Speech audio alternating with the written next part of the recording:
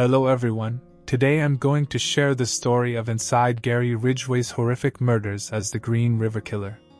But before continuing to the video, if you're a fan of the strange, dark, and mysterious delivered in story format, then you come to the right place because that's all we do and we upload every day.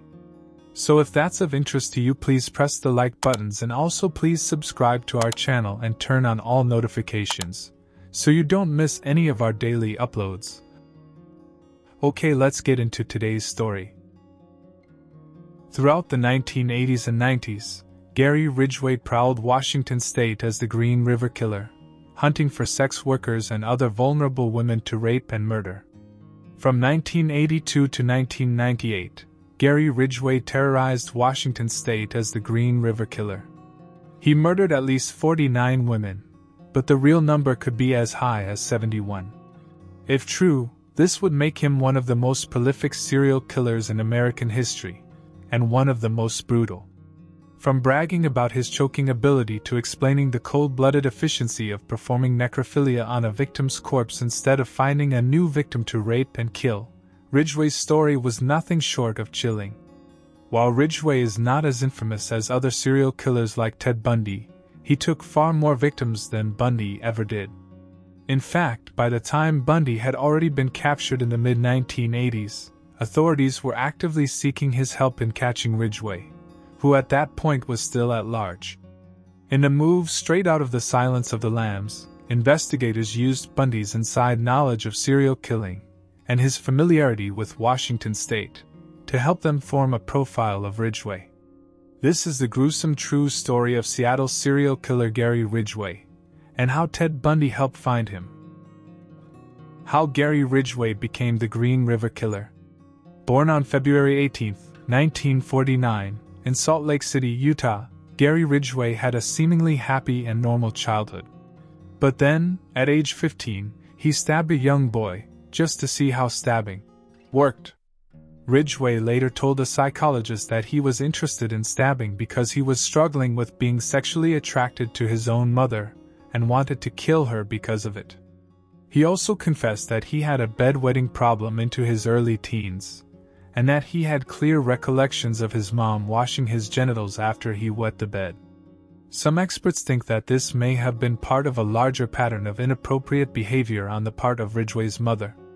And while she was ultimately spared from Ridgway's killing spree, some believe that his crimes may have amounted to a case of displaced matricide, and that he was unconsciously killing his mother over and over again. But for a long time, Ridgway put up a normal front. After graduating high school at the age of 20 and serving in the U.S. Navy for two years, Ridgway decided to settle down in the Seattle area. Shortly thereafter, he got a job painting trucks, which he held for about three decades. Not long after Ridgway's move, he started having a couple of encounters with the law, during which he got arrested for allegedly choking a sex worker and for solicitation. As the years went on, his crimes escalated from there. It's widely believed that he first began his killing spree in 1982, starting with a 16 year old girl who had run away from her foster home.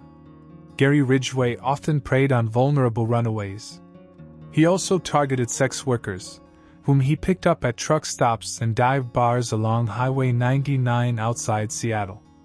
After luring his victims into his car, he'd often gain their trust by showing them photos of his son, then engage in sexual activity with them before strangling them to death, sometimes in the middle of intercourse. The Seattle serial killer would then dump their bodies in wooded areas around the Green River, which led to his chilling nickname. Ridgway would also purposely contaminate the crime scenes with gum and cigarette butts, since he didn't smoke or chew gum, to throw authorities off.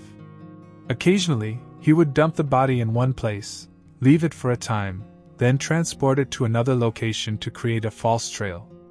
At least two of his victims were transported as far away as Portland.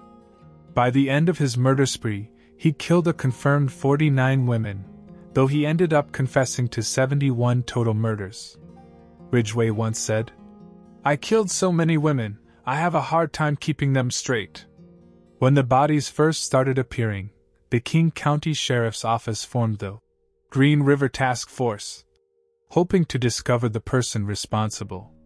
And they got help from an unlikely source. How Ted Bundy helped crack the case.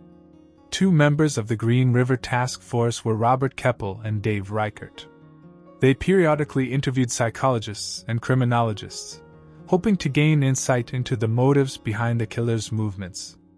Eventually, in 1984, their interviews led them to the infamous Ted Bundy. According to Keppel, Bundy actually volunteered himself to take part in the investigation. Keppel described receiving the shocking request from a detective of the Seattle Police Department. It was a letter from a wannabe consultant, and the most unlikely person I ever expected to be of assistance in the Green River murders. The letter came from a cell on death row in Florida. The sender was Theodore Robert Bundy. I was stunned. By that point, Bundy had already been imprisoned for several years for murder, rape, burglary, and necrophilia and at the time, he was awaiting his execution, which would ultimately come in 1989. Having deplorable, but valuable, first hand experience with the same kinds of killings that had been happening in the Green River area, Bundy proved to be an asset to the case. He became a regular interviewee of Keppel and Reichert and offered his unfiltered opinion on the psychology of the still active Seattle serial killer, as well as his motivations and behavior. According to Reichert, Ted Bundy also shared several things in common with Gary Ridgway, especially in regard to mindset. First off, there's no remorse. He doesn't have any feelings toward anybody, his family included. And that's what I saw in Bundy and what I saw in Ridgway. As Reichert explained in an interview with the New York Times. Like Mr. Bundy, Mr. Ridgway craved attention and control and was prideful when discussing his killings. When detectives presented him with an unsolved murder to see if he would confess it, he told them, Why, if it isn't mine? Because I have pride in what I do. I don't want to take it from anybody else. During one interview session, Bundy reportedly suggested that the uncaught Seattle serial killer was most likely revisiting his dump sites to perform necrophilia on the corpses. He advised the investigators that if they found a fresh grave, they should stake it out and wait for the killer to return. Bundy's theories turned out to be absolutely correct, and the police were able to use them to collect samples and provide evidence for an arrest warrant. However, it took police until 2001 to finally arrest Gary Ridgway. When Gary Ridgway finally faced justice. In 2001, Gary Ridgway was arrested on suspicions of murdering four women, and his DNA was later linked to them. Forensic testing later revealed that the same spray paint Ridgway used at work during his crime spree was present at other crime scenes, and added those murders to the list of charges. By that point, Ridgway had not only held a steady job for 30 years but had also been married three times. His third wife, Judith Mawson, who didn't know about his crimes until after he was arrested, was absolutely stunned when she heard about his long history of rape, murder, and necrophilia. As Mawson put it, Ridgway was the perfect husband and had always treated her like a newlywed, even after they'd been together for 17 years. In reality, Ridgway later confessed he had been tempted to kill Mawson and only passed because it might have increased his chances of getting caught. Still, he claimed that he truly loved Mawson. And according to the timeline of his known murders, his kill rate went down after they had gotten married. Mawson, who filed for divorce after his confessions, later said that she felt like she had saved lives by being his wife and making him happy. By the time of his trial, Gary Ridgway was facing 48 murder charges. In exchange for life imprisonment instead of the death penalty, the Seattle serial killer agreed to provide the locations of his victims' remains. After his cooperation, he was given 48 life sentences that would be served consecutively. Then, 10 years was added to each sentence for the crime of tampering with evidence.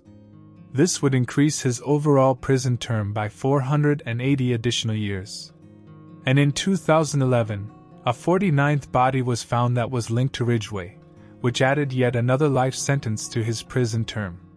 When his trial was over, Gary Ridgway had confessed to more confirmed murders than any other serial killer in America at that point. And he claimed that murdering young women was his real career. While the title of the most prolific serial killer in the United States has since been taken by Samuel Little, who killed up to 93 women between 1970 and 2005, there's no question that Ridgway remains one of the worst murderers in modern American history. But unlike some other infamous serial killers, Gary Ridgway is still alive today. He is currently 72 years old and serving out his life sentences at the Washington State Penitentiary in Walla Walla, Washington. Ridgway is expected to spend the rest of his life behind bars. Okay, friends, that's all for the story about Gary Ridgway as the Green River Killer. If you got something out of today's episode and you haven't done this already, please press the like buttons. Also, please subscribe to our channel and turn on all notifications so you don't miss any of our daily uploads. I really appreciate your support, and then see you in the next video.